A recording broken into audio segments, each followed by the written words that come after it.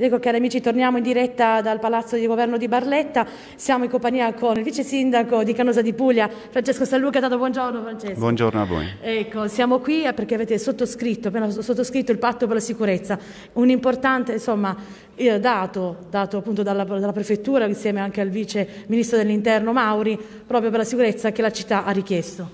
Beh sì, si rinnova la sottoscrizione di questo patto periodicamente, l'abbiamo già fatto due anni fa, sono degli atti molto importanti, devo dire, perché ci consentono poi di accedere a dei finanziamenti ministeriali senza i quali ecco, sarebbe impossibile accedervi. Sono uh, dei documenti importanti che coinvolgono l'intera cittadinanza. Ecco, dopo il ministro Crimi che è stato da noi a Canosa qualche settimana fa, eh, oggi era oggi presente il vice ministro Mauri, ecco, questa è testimonianza della presenza importante del governo sul nostro territorio.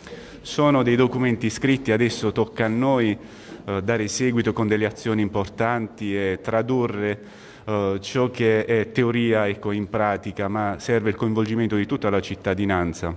Ho citato prima alcune azioni messe in atto dal governo che non bisogna sottovalutare. Il reddito di cittadinanza, ad esempio, è una misura molto importante perché coinvolge le fasce uh, più disagiate dal punto di vista sociale ed economico e sono quelle fasce dove si, si insinua ecco, la, la, delinquenza e la criminalità. Dopo i fatti crimina criminogeni di Canosa ecco, era importante oggi sottoscrivere questo documento e assieme alle associazioni di categoria adesso avremo una serie di incontri per vedere quali azioni mettere in atto. Ecco, quindi si è parlato anche di molta sensibilizzazione soprattutto tra i giovani.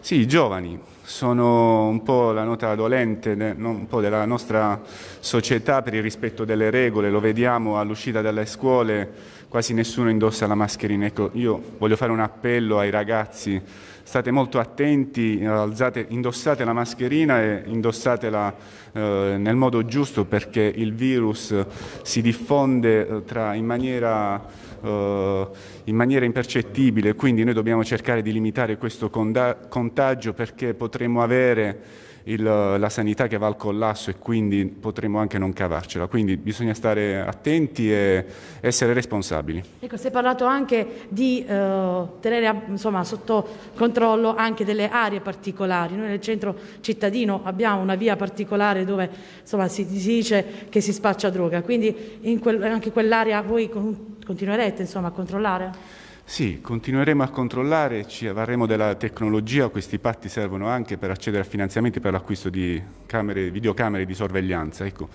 Ma non è solo questo, bisogna intervenire nelle periferie. Noi abbiamo, stiamo sottoscrivendo una serie di, stiamo accedendo a una serie di bandi, tipo quello sport e periferia in Viale Primo Maggio, ma anche ad un altro della Regione Puglia che scade il 3 novembre. C'è un coinvolgimento dell'attività sportiva con quelle che sono le zone più disagiate della, della città.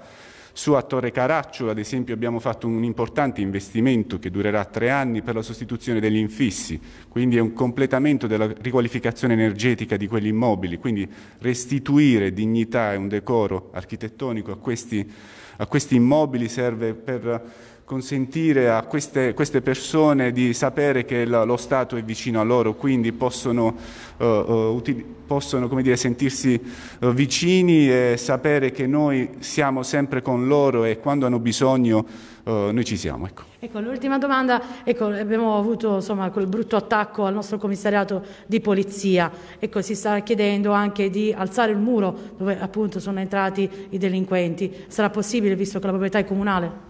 Sì, noi abbiamo dato la nostra disponibilità, abbiamo fatto un sopralluogo, adesso faremo un preventivo, in realtà l'abbiamo già fatto, bisogna trovare le risorse e credo che lo faremo a brevissimo. Grazie, grazie Vice Sindaco e buona giornata. Grazie a voi, salve.